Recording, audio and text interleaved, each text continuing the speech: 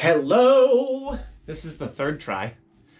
Um, why is it the third try? Why not? You know, third time's the charm. Uh, welcome to Niyama Wednesday. I would like to cover two things today. First, I want to talk briefly, it's never briefly. I'm always like, it's going to be brief, and it's 10 minutes.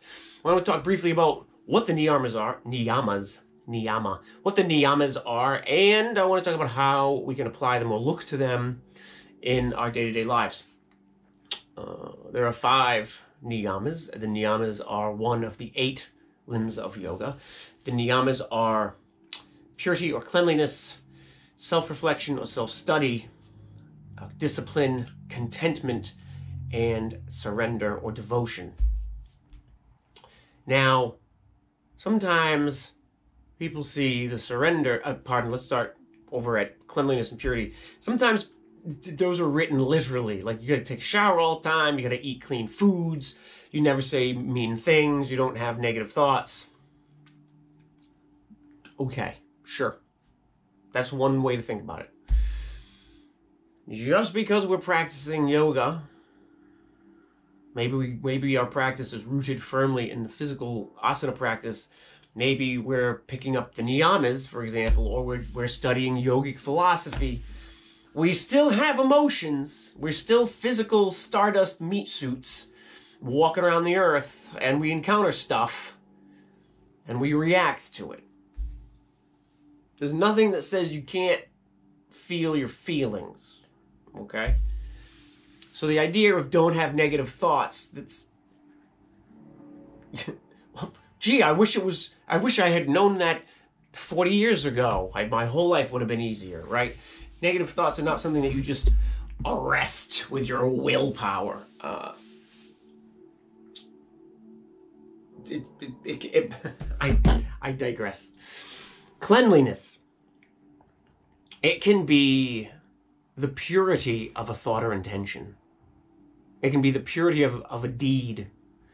Are you doing something purely because you love someone or because you're trying to get a little something out of it? If you're trying to get something a little out of it, well, that's attachment how do we know if a thought is clean? How do we know if we have purity in our thoughts and our emotions and if we're not putting attachment on them? Well, that's why we have self reflection and self study. And it's not easy, and you have to cultivate that. And it takes time to really to really cultivate that. And as you cultivate it, it will get better. Um, the better it gets, the more you realize you could work on it some more, and it never goes away. As long as you're human, you'll always have this thing. And it's good it's a good thing. It's kind of like at its simplest form, really drilling into your practice and considering every aspect, every facet of your asana practice. From the soles of the feet to the tips of the fingers, is every single part of your posture intentional? Or are there parts of your body that you're just letting go on autopilot? It's an accessible thing to start cultivating self awareness. Discipline to do that. Do it all the time. I cannot tell you how many times I have said to a friend, I don't want to deal with all this analysis and contemplation and stuff. I just want to be mad. I see that as a red flag to immediately begin to breathe and start doing some self analysis and contemplation. And I've gotten a lot better at it. It's taken a period of time. Um, more on that later. So, purification of the body, purification of our thoughts, purification of our deeds, right? We want to have pure ideas. Um, we want to watch out for things like jealousy or um, you know any maligned negative outpouring, not anger or sadness, but if we're doing things because of insecurities or jealousies or or those things, that's impure. Um, discipline to, to do that, discipline to apply self study and reflection, uh, and the discipline in and of itself. Going to yoga every week, you know, multiple times a week is discipline. Contentment. Contentment is interesting. Because on the one hand, we constantly strive to say improve the mobility of our body. And then we think about the word contentment. Like, well, what, what if you're just content with what you have? You could do that. That's a choice, and you can do that. You can also be content to know that what you have can be developed through self study and purity and discipline. that it is going somewhere, right? We're all on a daily practice. We're all on a journey. Every moment of every day, we're going somewhere. Our habits will be built for us, or we can choose those habits. And being content for whatever, whichever road we're on, whether we're getting something or going somewhere or, or trying to fix something, that's a big part of it.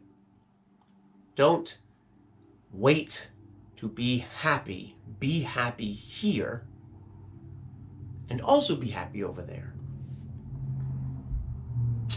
And then we have surrender. Surrender, uh, you know, I'm not, I'm not, I'm not, uh, I don't professionally study the niyamas. My answers are not always correct. Surrender can mean different things. It can mean surrendering control of things you know that you do not control. It can mean surrendering to the idea of being content and happy right here, even though five minutes ago you were thinking you really wanted to change it. Okay. Surrender and contentment are not one and the same. Surrender, you know, contentment is, could be something as simple as your being content with the control of the situation you have now, whereas surrender means you're just you're just letting it go. You don't need it. And these definitions change for people, right? They change for the circumstances and the people.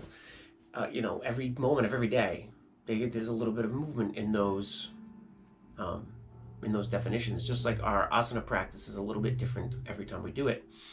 How to apply this stuff? Well,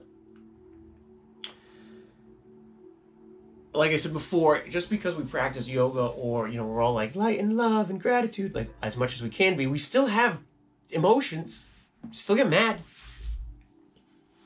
When I get mad, I try to look at the situation and ask myself questions based on the niyamas. Is this an opportunity for contentment? Is this purity of thought? Is this something that can be, uh, you know, is there is, is can I apply my discipline to this somewhere?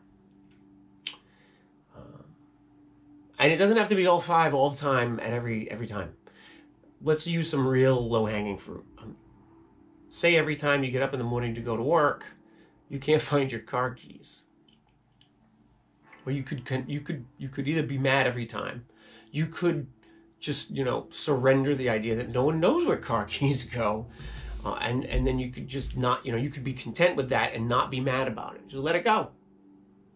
You could consider some self-reflection. Be like well every time i come in the door i throw my keys wherever. Maybe you could have the discipline to put the keys on a hook right near the door every time you come in and then have the honest self-reflection as to whether or not life is better with this decision after a week of course that's the that's the you know the, that's a simple simple idea but we can start with simple simple ideas that's fine. Nothing says we have to start by rewriting our entire philosophical situation. Okay? So, you have something come up. Maybe it's something that makes you mad or frustrated or sad. You can ask yourself about purity, discipline, contentment, self reflection, and surrender. Maybe through the niyamas, we can find ways to navigate the the the, the sometimes uh, complex natures of our existence a little bit more smoothly. I hope this has been beneficial.